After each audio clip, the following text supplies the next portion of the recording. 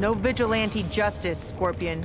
My clan isn't bound to your laws. Care to test that statement? Round one, fight.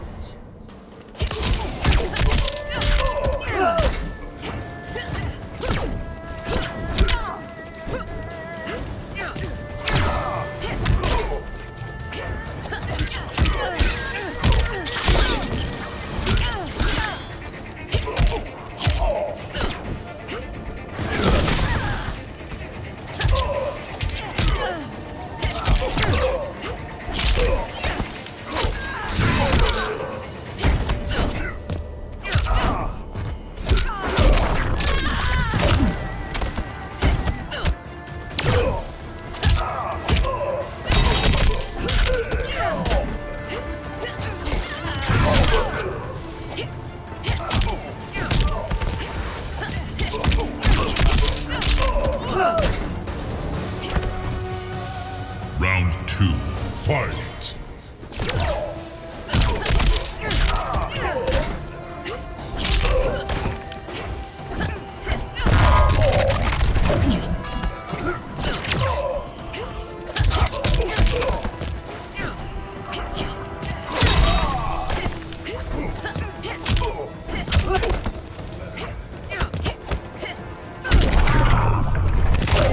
Him!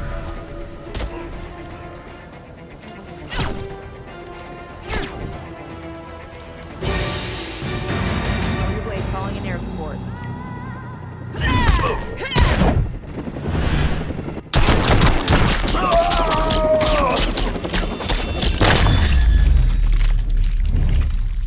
Fatality. Sonya wins. Flawless victory.